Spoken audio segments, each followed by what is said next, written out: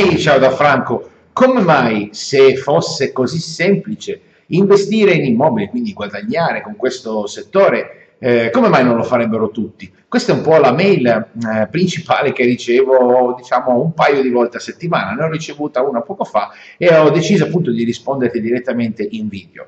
Intanto, eh, quando si parla di operazioni concluse eh, da parte di miei studenti, da parte mia, eccetera, sembra ovviamente che sia tutto semplice, tutto facile fare questo tipo di plusvalenza, quindi guadagnare ad esempio un 30% su una cessione del compromesso o un 50 o un 40% da un'asta immobiliare o stralcio immobiliare. Allora, perché non lo fanno tutti questo tipo di discorso se è così semplice? Innanzitutto chi si avvicina poi a questo settore immobiliare capisce ben subito che non è semplice come si possa credere comprare un immobile con sconto facendo semplicemente un'offerta inferiore. Non, è, non funziona solamente così. E quindi cosa c'è dietro questo business per poterlo far rendere eh, e far diventare redditizio appunto tutto il meccanismo.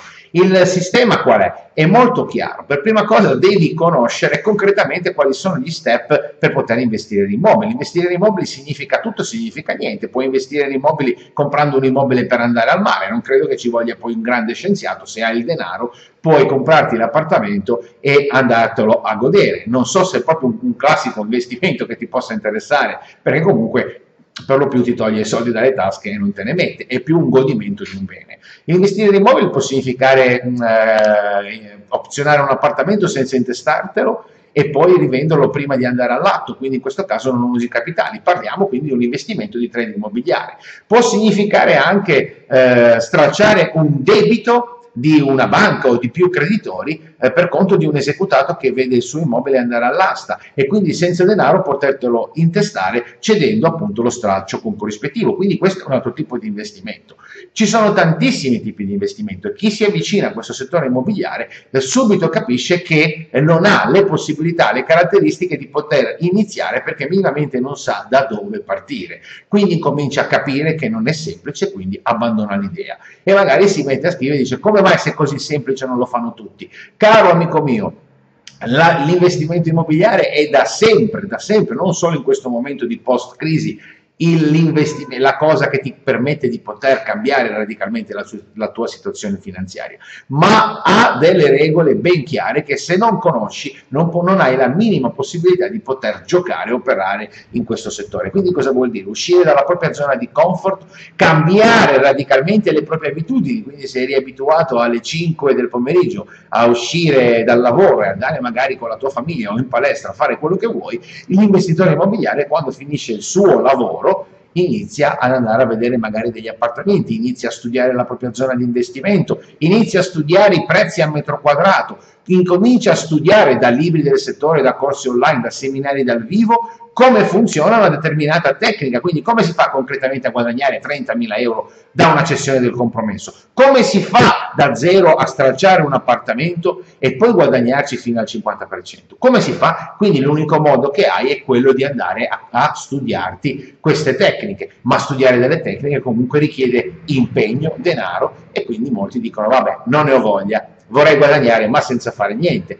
Eh, una volta conosciute le tecniche devi poi iniziare a metterle in pratica, quindi ti sei esercitato, magari sei diventato un po' più capace, devi cominciare ad andare a trovare tutto quello che ruota, le persone che ruotano, i professionisti che ruotano intorno al settore immobiliare, avere contatti con l'agente immobiliare di fiducia, con il tuo geometra, l'architetto, la persona che ti fa i lavori nell'appartamento, quindi devi agire. Molte persone non iniziano ad investire in immobili semplicemente perché devono uscire dalla, dalla, propria zona di comfort e magari sì, non sono proprio contenti della propria situazione finanziaria, sanno che non si possono permettere tanti, tanti divertimenti, tanti agi, fare delle programmazioni finanziarie a lunga scadenza, però comunque dici vabbè, intanto comunque mi accontento di quello che ho, non ho voglia di mettermi in gioco, non ho voglia di fare eh, discussioni con la famiglia che gli, gli dico che devo andare a vedere appartamenti. Ed è questa la motivazione per cui si cerca di rimandare o di trovare delle scuse comodi a noi stessi per dire insomma e se fosse così semplice lo farebbero tutti. È una motivazione per una giustificazione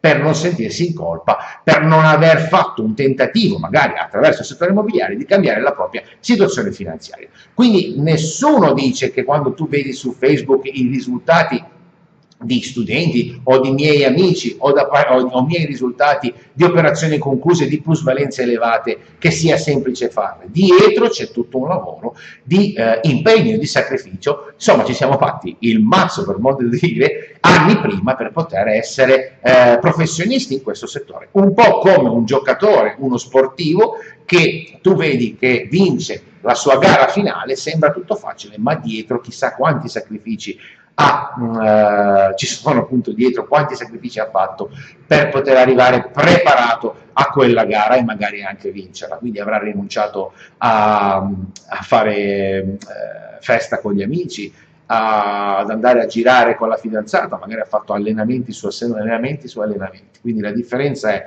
tra un professionista e un amatore è quella del sacrificio e la voglia veramente di arrivare a concludere qualcosa di positivo. Ci sono persone che magari hanno anche concluso delle operazioni, non sono diventate ricche, si sono accontentate poi si sono fermate e hanno, eh, si sono un po', tra virgolette, adagiate su se stessi. La cosa è che non ti devi fermare mai, devi cercare subito di capire quello che vuoi veramente te e se è quello di cambiare la tua situazione finanziaria perché hai compreso bene che nessuno lo farà al posto tuo, che non è possibile sperare di andare in pensione a 70 anni e che non è possibile pregare che il tuo datore di lavoro non chiuda mai perché magari tu rimani eh, fermo a 50 anni, questa è la soluzione, quella di incominciare a mettersi in gioco e uscire dalla propria zona di comfort e si trova il tempo. L'hanno trovato in passato gli investitori che adesso hanno risultati, lo puoi trovare anche te, però sei solamente te che puoi farlo di metterti in gioco. È ovvio che nessuno ti sta dicendo in questo blog, in questo profilo Facebook o Twitter che investire in immobili è una cavolata e basta uno schiocchio di dita, andare in un'agenzia, offrire meno e concludere l'affare. No, dietro c'è molto, ma molto di più. Una preparazione che eh, tutti possono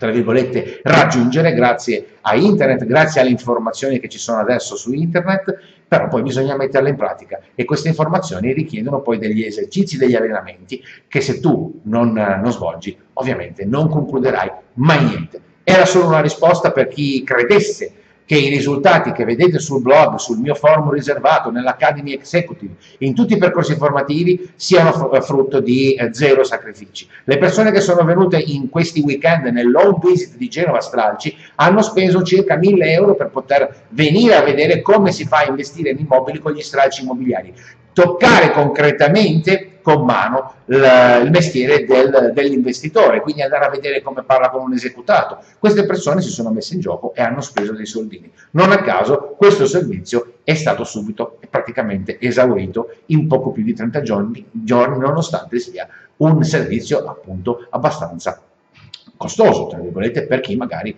eh, spende quasi un mese del suo eh, stipendio, quello è molto importante, però si sono messi in gioco e queste persone sicuramente fra 60-90 giorni avranno le, le, conoscenze, la sicurezza, la certezza, la preparazione di poter parlare con una persona e magari raccogliere una delega e prendere poi una proposta uh, di stralcio e concluderla in questo caso. Quindi hanno fatto una scelta, sono usciti dalla zona di comfort e hanno appunto eh, iniziato il loro percorso eh, che li porterà alla, a diventare degli investitori preparati e magari apprezzati nella propria zona di investimento. Ti ringrazio, buon business, ciao da Franco.